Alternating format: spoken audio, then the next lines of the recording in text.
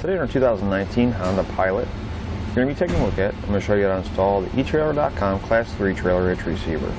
This is what our hitch looks like on the back of our vehicle. You can see the cross tube is completely hidden behind our bumper fascia. It's going to help maintain a nice clean look on the back of the vehicle. It's going to be a Class 3 hitch, so it's going to work great with all of your Class 3 accessories. It's going to give us a 2 inch by 2 inch receiver tube opening with a reinforced collar to give us a little extra stability on our receiver tube. Our hitch pin hole is going to be 5 8 inch in diameter. It's going to use a standard 5 8 inch hitch pin. It does not come with a hitch, however, it can be found here at eTrailer.com. We're going to have rolled steel style safety chain loops. You can see it has plenty of room for different size safety chain hooks. One thing I like about this hitch, I really like about this hitch, is the finish. It's going to have a triple carbide black powder coat finish, unlike some of the others that may only have a single coat.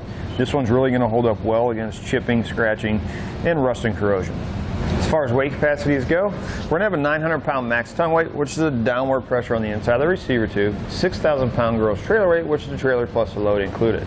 You can use weight distribution with this hitch. Tongue weight's going to stay the same at 900 pounds. Trailer weight's going to go up to 8,000 pounds.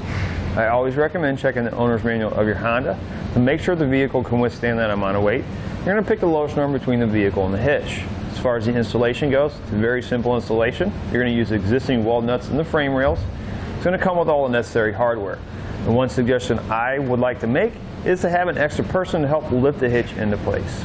Now let's give you a few measurements to help you when deciding on any hitch mount accessories you may need, such as a bike rack, ball mount, or cargo carrier. From the center of the hitch pin hole to the outermost part of the bumper is going to be about 3 inches. This number is important for any of your hitch mount accessories that may fold up against your vehicle. From the ground to the top innermost part of the receiver tube is going to be about 15 inches. Now let's show you how to get this installed. First thing we need to do to start our installation, go ahead and remove your spare tire. We're going to be using three existing weld nuts on the bottom of each frame rail. That's a good idea because these are open to the elements. Go ahead and spray some lubricant in there use a nylon tube brush and clean the threads. What we don't want is we don't want our bolts to cross thread and cause an issue with those weld nuts.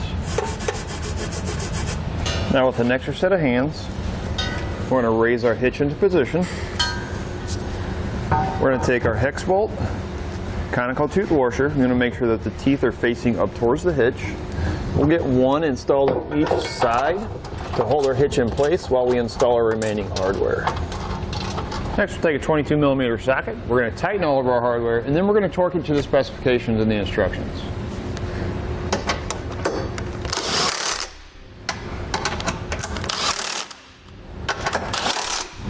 Once you're done installing your hitch, you can reinstall your spare tire and you're ready to go.